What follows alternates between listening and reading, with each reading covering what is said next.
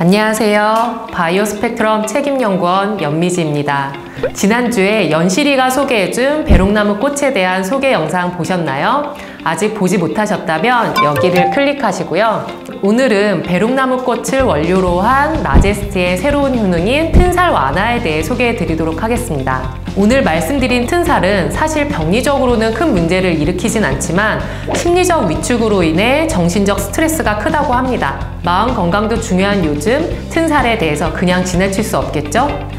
자 그럼 튼살에 대해 자세히 알아보고 튼살을 완화시킬 수 있는 소재에 대해 소개해 드리도록 하겠습니다. 튼살은 급작스런 몸무게 증가로 인해 피부 표면이 확장하면서 생기는 줄무늬 형태의 상처입니다. 주로 청소년이나 임산부들에게 나타나죠.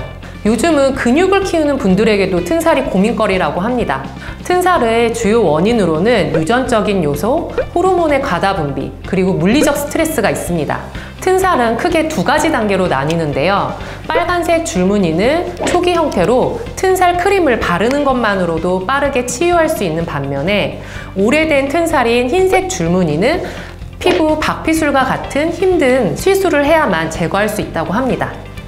튼살은 예방과 초기 단계 관리가 중요합니다. 조금 더 구체적으로 튼살 조직을 관찰해 보면 extracellular matrix라 불리는 이 ECM 구조가 붕괴된 것을 확인할 수 있습니다.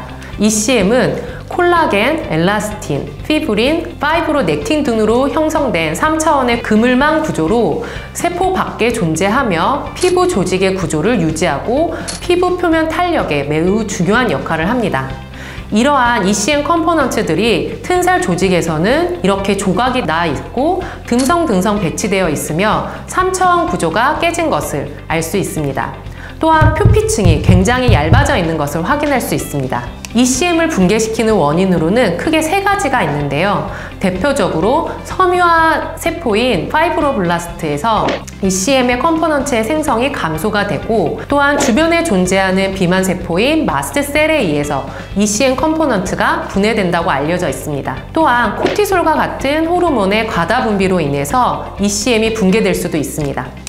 특히 비만 세포에 의한 ECM component가 분해되는 과정이 튼살의 원인인 물리적 스트레스와 관련이 있는데요. 급격한 체중 증가로 인해서 피부 조직이 확장이 일어나면 그때 발생하는 이 물리적 스트레스가 ECM을 통해서 비만 세포 내로 전달이 됩니다.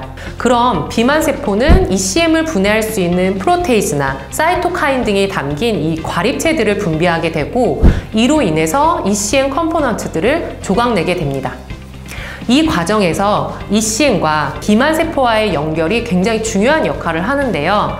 세포 표면의 수용체인 integrin 단백질은 세포를 ECM에 부착시키는 이 지지대 역할을 할 뿐만 아니라 세포 내로 물리적 스트레스를 전달하는 역할도 수행합니다. 따라서 이러한 integrin을 통한 ECM과의 연결을 조절하는 것이 튼살을 일으키는 물리적 스트레스를 낮출 수 있는 하나의 방법이 될 수 있겠죠. 그래서 저희는 이 비만 세포와 ECM component와의 부착을 조절할 수 있는 천연 물질을 찾고자 하였습니다. 추출물이 처리된 이 비만 세포를 fibronectin이 코팅된 이 플레이트에 접종을 한 후 washing buffer를 통해서 물리적 스트레스를 가하였습니다. 그리고 나서 이 부착 여부를 표지된 형광 분자를 통해서 확인할 수 있었는데요. 그 결과 배롱나무꽃 추출물을 선별할 수 있었습니다. 배롱나무 꽃은 지난 시간에도 설명하였다시피 남원의 대표 식물로서 100일 동안 꽃이 핀다 하여 백일홍이라 부르기도 합니다. 배롱나무 꽃에는 알칼로이드, 탄닌, 사포닌, 스테롤, 플라보노이드, phenolic compound들이 함유되어 있으며 알려진 주요 플라보노이드나 그 phenolic compound로는 카테콜, 헤스페리딘, ellagic acid, quercetin 등이 있습니다. 배롱나무꽃 추출물은 예로부터 혈액순환에 좋다고 효능이 알려져 있는데요. 이번 연구를 통해 저희는 튼살 완화에 대해서도 연구를 진행하였습니다. 먼저 비만세포와 ECM component와의 부착을 확인해 본 결과 배롱나무꽃 추출물에 의해서 부착이 감소되는 것을 확인하였습니다. 이 부착 감소 효능과 함께 비만 세포에서 나오는 과립체와 사이토카인의 분비를 확인해 본 결과 이 또한 배롱나무꽃 추출물에 의해서 감소되는 것을 확인할 수 있었습니다.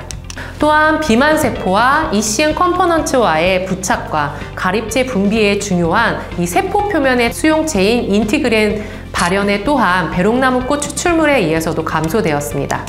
다음으로 integrin과 연결된 세포 내부의 signaling 단백질인 FAK의 인산화를 확인해 보았습니다. integrin은 ECM에 의해서 세포 외부에 이렇게 모이게 되는데요. 이와 연결된 FAK 단백질 체들이 세포 내부에 밀집되면서 FAK의 인산화를 촉진하게 됩니다.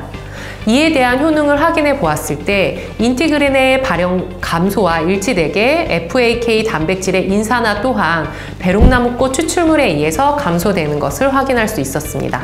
또한 활성화된 비만 세포에서 분비된 이 과립체나 사이토카인이 fibroblast에 주는 영향을 확인하기 위해서 이 활성화된 비만 세포의 배양액을 이용을 해서 fibroblast에 처리를 하였습니다. 이때 ECM component의 발현이 감소되는 것을 확인을 하였는데요. 이러한 감소는 배롱나무꽃 추출물에 의해서 다시 복구되는 것을 확인하였습니다. 또한 활성화된 이 비만 세포의 배양액은 ECM을 분해시키는 enzyme인 MMP1, MMP3의 발현을 증가시켰고 proinflammatory mediator인 CXCL8의 발현 또한 증가를 시켰습니다. 이러한 증가는 배롱나무꽃 추출물에 의해서 감소되었습니다. 마지막으로 콜라겐을 분해시키는 이 코티솔 호르몬 또한 배롱나무꽃 추출물에 의해서 감소되는 것을 확인하였습니다. 종합적으로 배롱나무꽃 추출물은 튼살에서 나타나는 ECM을 붕괴시키는 이 세 가지 요소에 대해 모두 완화시키는 효능을 보였는데요. fibroblast에서는 감소된 ECM component의 발현을 증가시키고 ECM을 파편화시키는 이 비만 세포의 과립체 분비도 억제를 시켰으며 콜라겐을 분해하는 이 코티솔 호르몬을 감소시키는 효능을 보였습니다. 자, 지금까지 라제스트의 튼살에 관련된 다양한 효능에 대해서 잘 보셨나요? 이 정도 효능이면 튼살 예방책으로 딱 좋겠죠? 튼살이 심해지기 전에 라제스트로 미리 관리하세요. 아, 그리고 여러분, 몸에 난 상처는 살아온 삶의 흔적이니까 있는 그대로의 모습도 아름답다는 사실 잊지 마시고요. 지금까지 바이오 스펙트럼의 로컬 원료인 라제스트에 대한 설명이었습니다. 영상이 도움이 되셨다면 구독과 좋아요 부탁드리고요. 좋은 제품 들고 다시 찾아뵙겠습니다. 감사합니다.